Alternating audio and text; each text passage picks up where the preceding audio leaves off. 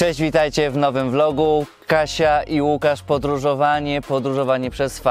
Moi drodzy, te piękne widoki, które widzieliście przed chwileczką, tak, to jest Portugalia. Długo zastanawialiśmy się, co dalej, co zrobimy, kiedy miną trzy miesiące naszej turystycznej wizy. Początkowo planowaliśmy, że pojedziemy do Gruzji i Armenii, ale niestety nasz pobyt wypadł na miesiące zimowe i wiedzieliśmy, że w tych dwóch krajach będzie bardzo zimno. Więc postanowiliśmy iść za głosem serca i skierować się tam, gdzie jest nam najlepiej, do naszego ulubionego kraju, do naszego ukochanego miejsca, do miejsca, za którym tęskniliśmy odkąd tylko wyjechaliśmy, czyli właśnie do Portugalii. Podróż zajęła nam rekordowo mało czasu, ponieważ przejechaliśmy z Turcji do Portugalii w 10 dni. Wzięliśmy prom z Grecji, przepłynęliśmy do Włoch. We Włoszech zatrzymaliśmy się tylko w Neapolu, tam poszliśmy na, na, oczywiście na pizzę, pizzę fritę i pizzę margheritę. Następnie z Włoch wzięliśmy prom do Barcelony i to było świetne rozwiązanie. 22 godziny płynie się z Włoch, z nad Rzymu do Barcelony. Całą drogę spaliśmy, obudziliśmy się już w pięknej, słonecznej Barcelonie. No a z Barcelony to już jest rzut beretem do Portugalii.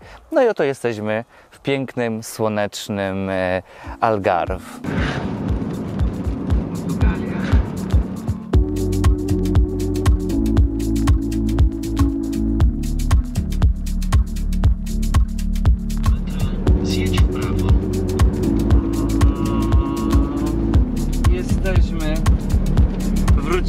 Do Portugalii. No i jest pięknie. Pogoda cudowna, 19 stopni, e, świeci słońce, bardzo przyjemnie.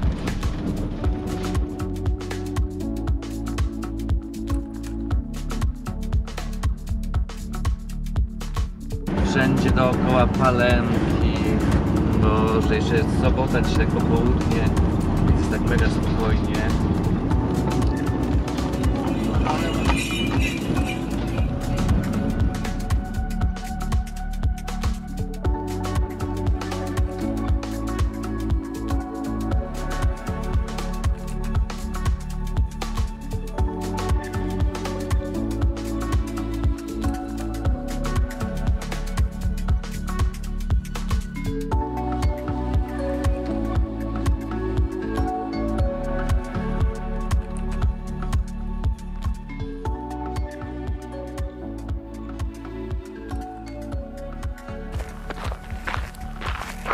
A jeszcze pozostając w temacie kamperowym, bo część z Was może się zastanawiać, jak wygląda teraz van life w Portugalii, ponieważ w zeszłym roku zakazano van life'u, spanie na dziko było nielegalne i tak dalej.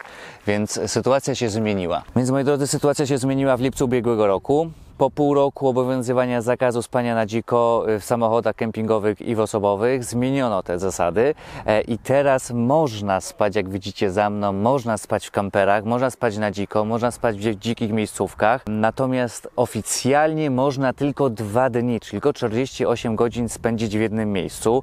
Z tego co wiemy i widzimy, nie jest to, że tak powiem, sprawdzane. Może w jakichś takich primo miejscóweczkach policja przyjeżdża i spisuje numery rejestracyjne i potem sprawdzają, czy tam ktoś mieszka.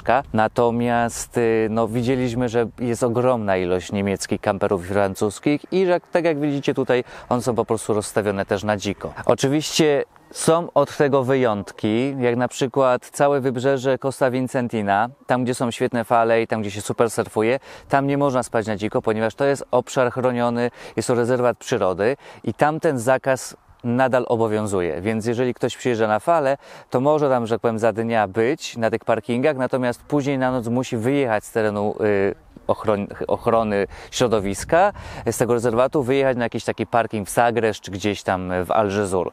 No, nie są to już takie urokliwe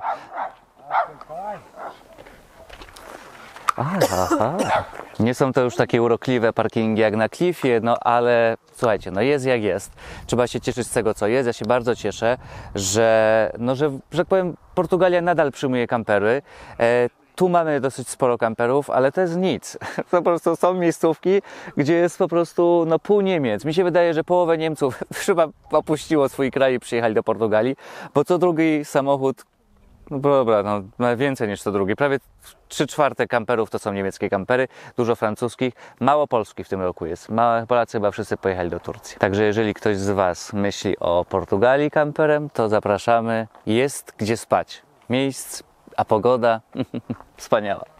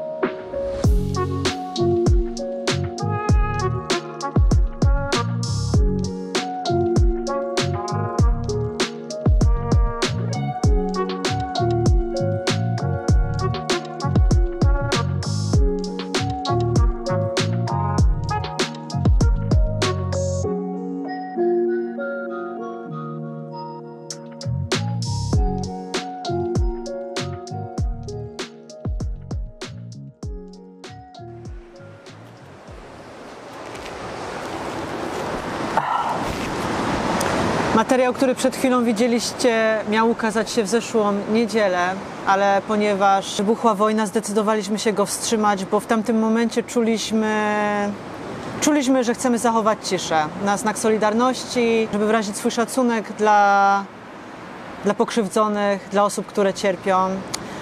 I zastanawialiśmy się, co zrobić dalej, i wspólnie z Łukaszem postanowiliśmy, że będziemy jednak e, dalej nagrywać vlogi i co tydzień je publikować, w miarę możliwości co tydzień.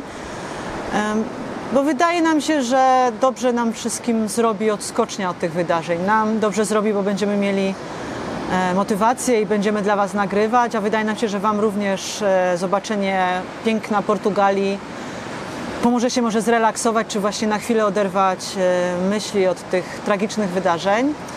Chcielibyśmy też co jakiś czas dalej kontynuować z publikacją e, Wanturów i mamy nadzieję, że właśnie nie odbierzecie tego w taki sposób, że e, nie wiem, że, że jakoś umniejszamy tym wydarzeniom. Po prostu czujemy, że no, że potrzeba takich materiałów jakichś innych, żeby się troszeczkę rozerwać, zrelaksować, bo no, żeby dać odpocząć po prostu swojemu umysłowi, swojemu e, serduszku. Jeśli chodzi o to, jak teraz Portugalczycy odbierają e, wojnę, to chcemy Wam powiedzieć, że no prawie w każdej knajpie wyświetlają się w telewizorze właśnie wiadomości i głównym tematem jest właśnie wojna. E, Są organizowane pikiety, marsze solidarnościowe, e, głównie w większych miastach. Wiemy, że był w Lizbonie, w Porto, w Bradze.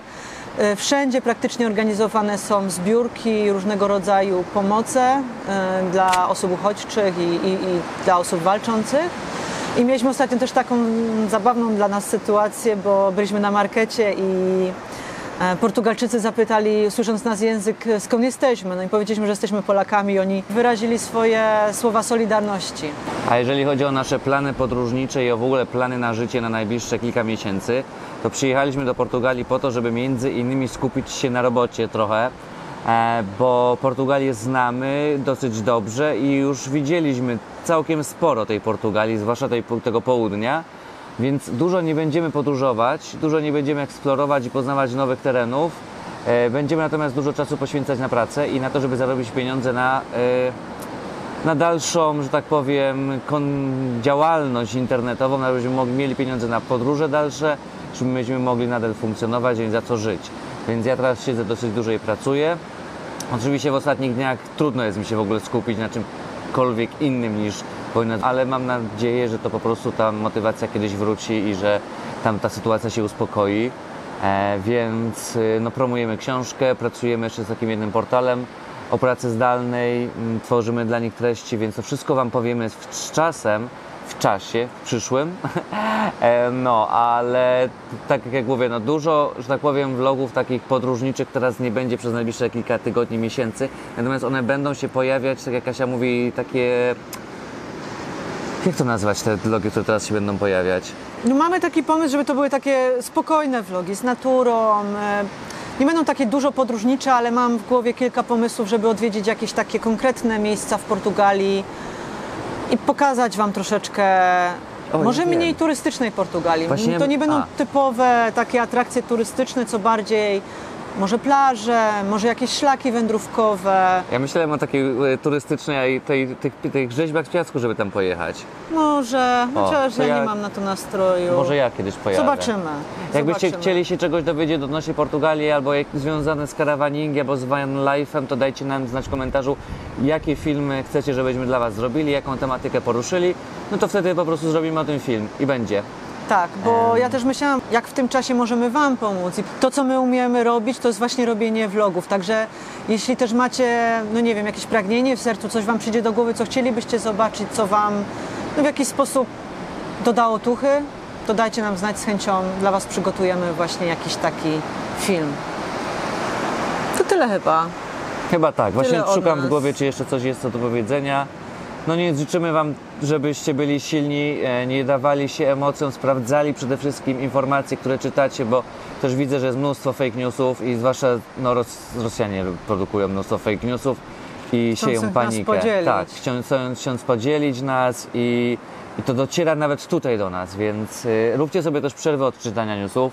Ja przez ostatnie kilka dni no, czytałem, czytałem cały czas, ale zrobiłem jeden dzień, kiedy w ogóle nie włączałem żadnych żadnych stacji no, z newsami i Kasi powiedziałem, żeby mi nie informowała o tym, bo już mnie tak głowa bolała i tak się źle czułem, że mówię, to po prostu niedługo mnie, zni- no, no zniszczy mnie to niedługo, więc, więc zróbcie sobie też przerwy, żeby nie oglądać cały czas tych newsów. Wiadomo, że dobrze by być na bieżąco i śledzić, zwłaszcza jeżeli jesteście w Polsce, żeby być na bieżąco, co się dzieje za, za ścianą, ale nie przesadzajmy też z tym, Tak, nie? zadbajmy, ja cały czas tak myślę o tym, żeby zadbać o siebie, Tak. Bo nasza siła i nasza energia będzie potrzebna też za tydzień i za miesiąc i możliwe nawet, że za rok albo półtora, więc nie możemy też pozwolić, żebyśmy się wypalili już teraz i dzisiaj, tylko musimy dbać o siebie i zachować spokój. Mimo, że jest trudno, to, to starajmy się właśnie tak robić. Jesteśmy z Wami myślami, otaczamy modlitwą. Cały czas jesteśmy z Wami po prostu. Cały czas jesteśmy głową w Polsce i w krainie.